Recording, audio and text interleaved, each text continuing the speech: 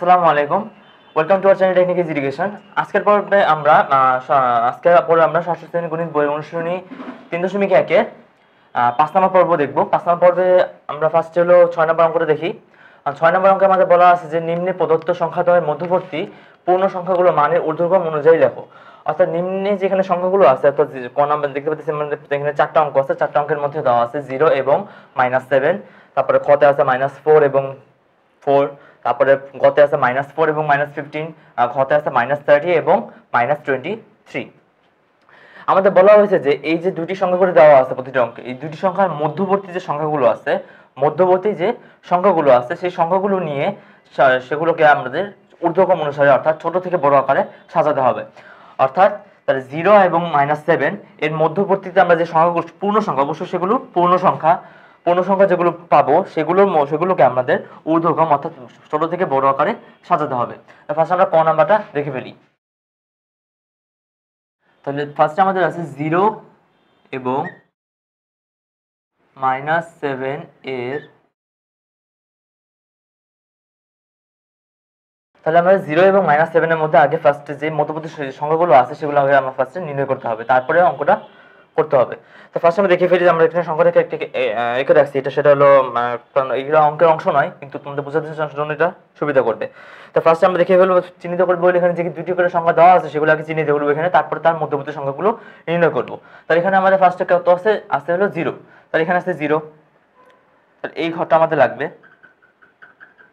তাহলে জিরো আর হলো minus seven আর হলো মাইনাস সেভেন তাহলে এই যে জিরো আর এলো মাইনাস সেভেন তাহলে এর মধ্যবর্তী সংখ্যাকে আমি এখন ক্লিয়ারভাবে বুঝতে পারতেছি যে এর মধ্যবর্তী সংখ্যা কি? এই যে মাইনাস ওয়ান থেকে শুরু হয়ে মাইনাস সিক্স বা মাইনাস সিক্স শুরু হয়ে মাইনাস ওয়ান বললে ভালো হয়, কারণ কি? মাইনাস সিক্সটা হলো সবচেয়ে বেশি ছোট এবং মাইনাস ওয়ানটা মাইনাস সিক্সের চেয়ে বড়। কারণ কি? কারণ আমরা জানি যে সংখ্যা রেখার জিরোটা যদি আমরা নিউট্রাল বা নিরপেক্ষ ধরি জিরোর ডান দিকে থাকে হলো ধনাত্মক অংশ সংখ্যাগুলো ধনাত্মক অবস্থান, আর জিরোর বাম দিকে থাকে হলো সংখ্যাগুলো ঋণাত্মক অবস্থান। অর্থাৎ ডান দিকে আমরা ধনাত্মক সংখ্যাগুলো পাবো এবং বাম জিরোর ডান দিকে ধনাত্মক সংখ্যাগুলো পাবো এবং জিরোর বাম দিকে ঋণাত্মক সংখ্যাগুলো পাবো। এবং যত আমরা ডান ডান দিকে যাব, সংখ্যার মান তত বৃদ্ধি পাবে এবং সংখ্যাটি তত বড় হবে। আর যত আমরা বাম দিকে যাব সংখ্যা রেখার তত সংখ্যাগুলোর মান ছোট হবে, সংখ্যাগুলো ঋণাত্মক হবে এবং সংখ্যাগুলো ছোট ক্রমানুসারে ছোট হতে থাকবে। তাহলে আমরা বলতে পারি সংখ্যা রেখায় আসলে আমরা বলতে পারি যে বাম থেকে যদি আমরা ডানে যাই, বাম থেকে যদি আমরা ডানে যাই, তাহলে আমরা সংখ্যাগুলো ছোট থেকে বড় আকারে দেখতে পারব। তাহলে আমরা যদি সব, এই, এখানে যে সংখ্যাগুলো আছে এখানে যে সংখ্যাগুলো আছে, সেগুলো যদি আমরা বড় ছোট থেকে বড় আকারে মানে বলতে চাই যে ছোট থেকে বড় আকারে কোনগুলো আছে, তাহলে ছোট থেকে বড় আকারে যদি বলতে চাই, তাহলে আমরা এই মাইনাস থার্টি ওয়ান থেকে শুরু করব। কারণ এখানে মাইনাস থার্টি ওয়ান হলো সবচেয়ে ছোট। কারণ কি এখানে সব সবচেয়ে বামে আছে কি মাইনাস থার্টি ওয়ান আর সবচেয়ে ডানে আছে কি ফোর তাহলে কি এই সংখ্যা রেখার মধ্যে সবচেয়ে ছোট সংখ্যা হলো মাইনাস থার্টি ওয়ান এবং সবচেয়ে বড় সংখ্যা হলো ফোর। তাহলে আমরা ছোট থেকে বড় আকারে সাজাতে গেলে সেখান থেকে মাইনাস থার্টি ওয়ান থেকে serially minus thirty one minus thirty minus twenty nine minus twenty eight এভাবে বলতে বলতে zero one two three four তাহলে আমরা ছোট থেকে বড় আকারে তাহলে সাজানো হয়ে যাবে। তাহলে এই অনুসারে আমরা বলতে পারি এখানে যে এখানে আমাদের কি? জিরো এবং মাইনাস সেভেনের মধ্যে লাগবে। তাহলে জিরো এবং মাইনাস সেভেনের মধ্যে আমাদের সংখ্যাগুলোকে ছোট থেকে বড় আকারে সাজাতে হবে। তাহলে কি আমাদের এই সংখ্যাগুলো যে আমরা জিরো এবং সেভেনের মাঝে যে সংখ্যাগুলো পাবো, সেগুলোর মধ্যে, সেগুলোর থেকে আমরা বাম থেকে ডানে যাব। তাহলে আমরা ঊর্ধ্বক্রম বা বড়, ছোট থেকে বড় আকারে সাজাতে পারব। তাহলে জিরো থেকে, আমরা যে বামে দেখতে পাচ্ছি আমরা মাইনাস সেভেন আছে, ডানে হলো জিরো আছে। তাহলে আমরা সবসময় তাহলে ঊর্ধ্বক্রম অনুসারে সাজানোর জন্য তাহলে আমরা বাম থেকে ডানে যাব। তাহলে বামে দেখি সবচেয়ে মধ্যবর্তী সংখ্যার মধ্যে, আমাদের মধ্যবর্তী সংখ্যা আগেই বলা হয়েছে যে এখানে মাইনাস সিক্স থেকে মাইনাস ওয়ান হলো এর মধ্যবর্তী সংখ্যা। কারণ কি? এটা হলো আমাদের বর্ডার এটা বর্ডার এটা বর্ডার তাহলে এটার মাঝখানে সংখ্যাগুলো আমার নিতে হবে। তাহলে মাঝখানে সংখ্যা কি? মাইনাস সিক্স থেকে মাইনাস ওয়ান পর্যন্ত আছে, আর যেহেতু ছোট থেকে বড় আকার সাজাতে হবে, তাহলে আমরা বাম থেকে ডানে যাব। তাহলে বাম থেকে ডানে গেলে হলো তাহলে তাহলে minus six minus five minus four minus three minus two minus one তাহলে লিখে ফেলি আমরা এটা। তাহলে মাইনাস সিক্স তারপরে সংখ্যাটি হলো, আমরা এখানে চিহ্ন ইউজ করতে পারি, কারণ ছোট থেকে বড় আকারে যাচ্ছি আমরা এখানে। তাহলে সবচেয়ে ছোট হলো মাইনাস সিক্স তার পরবর্তী বড় সংখ্যা হলো মাইনাস ফাইভ তার পরবর্তীতে আছে মাইনাস ফোর তার পরবর্তীতে আছে minus three minus two minus one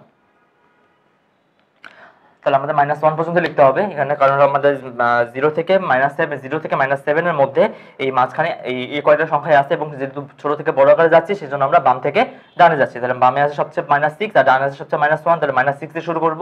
তাহলে minus six minus five minus three minus two minus one তাহলে এগুলো আমাদের হলো জিরো থেকে মাইনাস সেভেনের মধ্যে সংখ্যাগুলো, মধ্যবর্তী সংখ্যাগুলো ঊর্ধ্বক্রম অনুসারে সাজিয়ে পাই আমরা এই সিরিজটা। তাহলে এটি হলো ছয়ের কয়ের সমাধান। তো ছয়ের কয়ের সমাধান আমরা দেখে ফেললাম, এবার আমরা দেখব ছয়ের ক্ষয়ের সমাধান। ছয়ের ক্ষতে আছে আমাদের হলো মাইনাস ফোর এবং প্লাস ফোর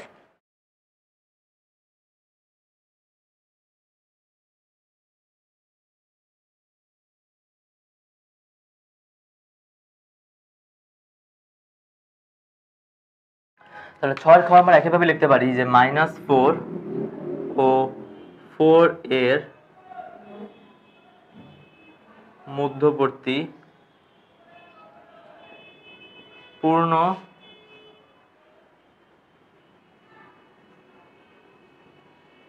সংখ্যাগুলোকে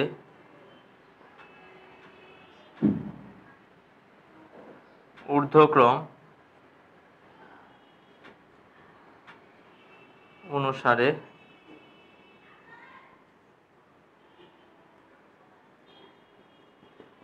সাজিয়ে পাই।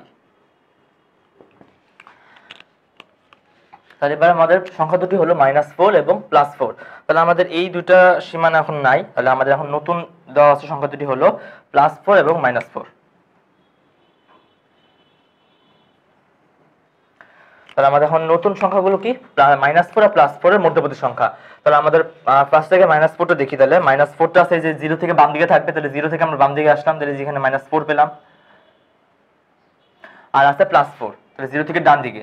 তাহলে এটা হলো জিরো জিরো ডান দিকে হলো প্লাস ফোর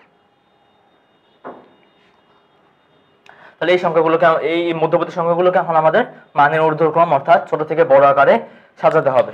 তো ফার্স্টে আমরা দেখে ফেলি তাহলে আমাদের সীমানা হলো এই ফোর আর হলো এই মাইনাস ফোর তাহলে এই মাঝামাঝি মাঝের সংখ্যা আছে মাইনাস থ্রি থেকে প্লাস থ্রি পর্যন্ত। যেহেতু ছোট থেকে বড় আকারে সাজাতে হবে, তাহলে আমরা কি করব? বাম থেকে ডানে যাব। বাম থেকে ডানে, কারণ কি বামে সবচেয়ে ছোট সংখ্যা থাকে আর ডানে সবচেয়ে বড় সংখ্যা থাকে। তাহলে বাম থেকে আমরা ডানে যাব। তাহলে বামে আছে কি? মাইনাস থ্রি সবচেয়ে বামে মানে এই সীমাটার, সীমার মধ্যে আছে মাইনাস থ্রিটা সবচেয়ে বামে আছে এবং প্লাস থ্রিটা সবচেয়ে ডানে আছে। তাহলে মাইনাস থ্রি থেকে আমরা প্লাস থ্রি পর্যন্ত যাব। তাহলে minus three minus two minus one zero one two three এটা আমাদের এই মাইনাস ফোর থেকে প্লাস ফোর পর্যন্ত সংখ্যাগুলো ঊর্ধ্বক্রম অনুসারে সিরিজটা। ফার্স্টের সংখ্যা হলো, সবচেয়ে ছোট সংখ্যা হলো মাইনাস ফোর তারপরে হলো মাইনাস সরি ফার্স্টের সংখ্যাটা আমরা মাইনাস থ্রি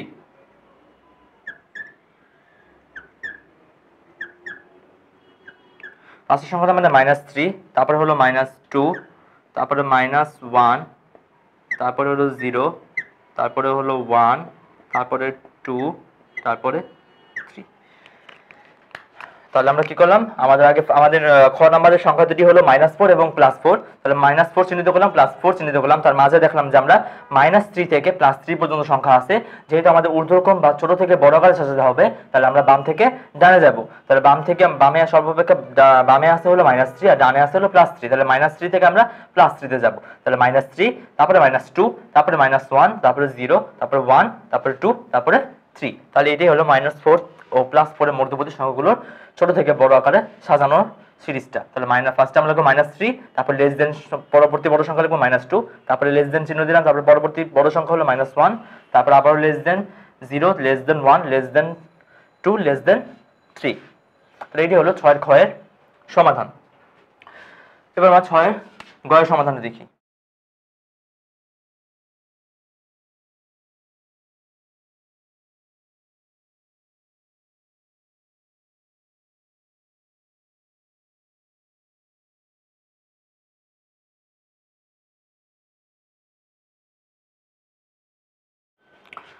তো আমাদের এখানে ছয়ের গতে আমাদের সংখ্যাগুলো আছে, হলো মাইনাস ফোর এবং মাইনাস ফিফটিন তাহলে মাইনাস ফোর ও মাইনাস ফিফটিন এর মধ্যবর্তী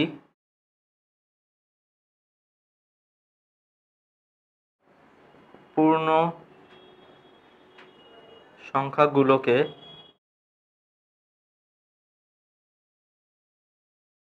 ঊর্ধ্বক্রম অনুসারে সাজিয়ে পাই। তাহলে আমাদের নতুন সংখ্যা হলো মাইনাস ফোর এবং মাইনাস ফিফটিন তাহলে আমাদের এই আগের অঙ্কটা বাদ দিয়ে ফেলি আমরা।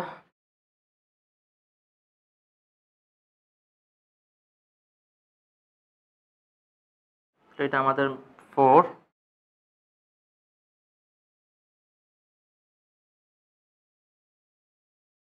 তাহলে আমাদের নতুন সীমা হলো মাইনাস ফোর এবং মাইনাস ফিফটিন তাহলে ফার্স্টে আছে আমরা মাইনাস ফোরটা চিহ্নিত করে ফেলি তাহলে। তাহলে মাইনাস ফোর আছে হলো আমাদের এই পয়েন্টে মাইনাস ফোর এটা আমাদের মাইনাস ফোর আর এখানে আছে হলো মাইনাস ফিফটিন তাহলে মাইনাস ফিফটিন আছে হলো five six seven eight nine ten eleven twelve thirteen fourteen fifteen তাহলে এটা আমাদের মাইনাস ফিফটিন তাহলে মাইনাস ফোর আর হলো মাইনাস ফিফটিন এটা আমাদের সীমানা। তাহলে মাইনাস ফোর এবং মাইনাস ফিফটিনটা চিহ্নিত করে ফেলাম তাহলে এর মধ্যবর্তী মধ্যবর্তী সংখ্যা কি দেখতে পাচ্ছি আমরা যে মাইনাস ফোরটিন থেকে মাইনাস ফাইভ পর্যন্ত আছে। তাহলে আমার যেহেতু ঊর্ধ্বক্রম অনুসারে বা ছোট থেকে বড় আকারে সাজাতে হবে, তাহলে কি আমরা মাইনাস ফোরটিন থেকে মাইনাস ফাইভ পর্যন্ত যাব, বাম থেকে ডানে যাব। তাহলে ফার্স্টের সংখ্যাটা হলো মাইনাস ফোরটিন তারপরে মাইনাস থার্টিন তারপরে হলো মাইনাস টুয়েলভ তারপরে মাইনাস ইলেভেন তারপর মাইনাস টেন এরপর মাইনাস নাইন এরপর মাইনাস এইট এরপর minus seven minus six minus five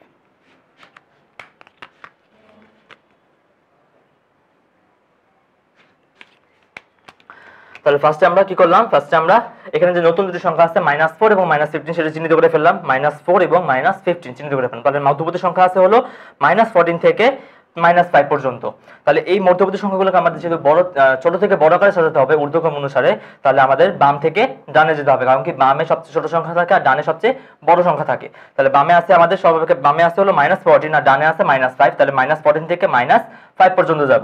তাহলে মাইনাস ফোরটিন তারপরে আসলো মাইনাস থার্টিন তারপরে minus fourteen sorry minus twelve তারপর মাইনাস ইলেভেন তারপরে মাইনাস টেন তারপরে হলো মাইনাস নাইন তারপরে মাইনাস এইট তারপর minus seven minus six minus five তাহলে এটি হলো মাইনাস ফোর থেকে মাইনাস ফিফটিনের মধ্যবর্তী সংখ্যাগুলো ঊর্ধ্বক্রম অনুসারে সাজানোর সিরিজ। এটি আমাদের ছয়ের গয়ের সমাধান। তাহলে এবার আমরা দেখি, ছয়ের ঘ নাম্বারের সমাধান। ছয়ের ঘতে আমাদের আছে মাইনাস থার্টি এবং মাইনাস টোয়েন্টি থ্রি অনুসারে লিখতে পারি আমরা তাহলে মাইনাস থার্টি ও মাইনাস টোয়েন্টি থ্রি এর মধ্যবর্তী পূর্ণ সংখ্যাগুলোকে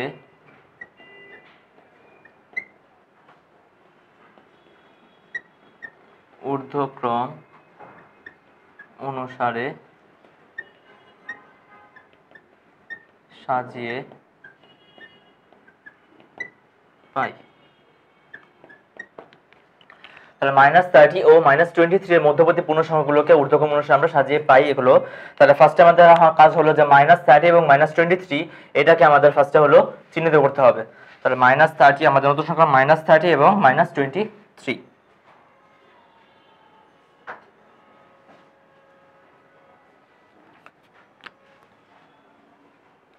minus four ছিল মাইনাস ফিফটিন ছিল। তো আমাদের নতুন সংখ্যা হলো মাইনাস থার্টি এবং মাইনাস টোয়েন্টি থ্রি তাহলে মাইনাস থার্টি আমাদের এখানে আছে মাইনাস থার্টি আর মাইনাস টোয়েন্টি থ্রি এই জায়গায় আছে।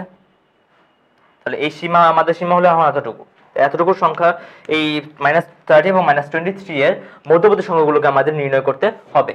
তাহলে মাইনাস থার্টি হলো এখানে, তাহলে মাইনাস টোয়েন্টি থ্রি এই জায়গায়। তাহলে আমাদের মধ্যবর্তী সংখ্যাগুলো আছে হলো মাইনাস টোয়েন্টি নাইন থেকে মাইনাস টোয়েন্টি ফোর আর যেহেতু সংখ্যাগুলো ঊর্ধ্বক্রম অনুযায়ী সাজাতে হবে, অর্থাৎ ছোট থেকে বড় আকারে, তাহলে আমাদের এখানে মাইনাস থার্টি থেকে মাইনাস টোয়েন্টি নাইন থেকে মাইনাস টোয়েন্টি ফোর পর্যন্ত যাব।